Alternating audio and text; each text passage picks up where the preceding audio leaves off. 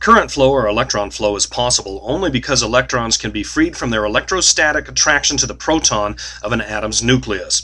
Electrons are freed when energy is applied in the form of heat, light, magnetism, or electricity.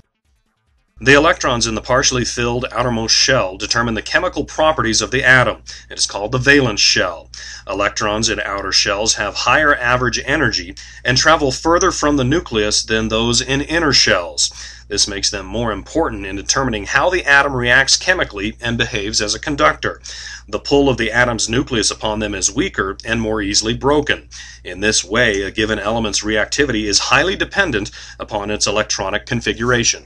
It's the valence shell electrons of any element that are crucial for current flow. A material is an electrical conductor when one or more of its valence electrons can be easily freed.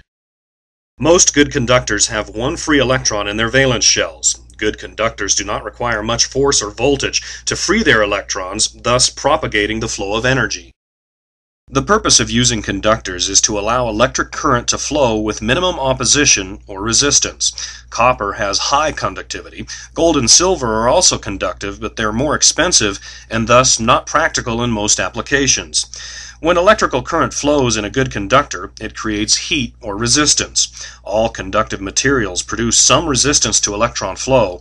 This resistance is reflected in the form of heat. Non-conductive materials, called insulators, resist electron flow. The important thing to remember about insulators is it takes much more force or voltage to get an electron to leave an insulator's atom than a conductor's atom. Even when enough force is applied to an insulator, only a very few electrons can be released at any one time. Insulators protect conductors from touching each other and protect us from touching conductors. Most materials other than metals are insulators. Plastic, glass, and rubber are commonly used good insulators. Semiconductors are elements that are unique in that they are neither good conductors nor good insulators. This characteristic can be advantageous. Semiconductors can be made to be partly conductive by mixing small amounts of impurities containing free electrons. This is a process known as doping. Semiconductive material, such as silicon and germanium, are the basis for transistors, diodes, and other solid-state devices.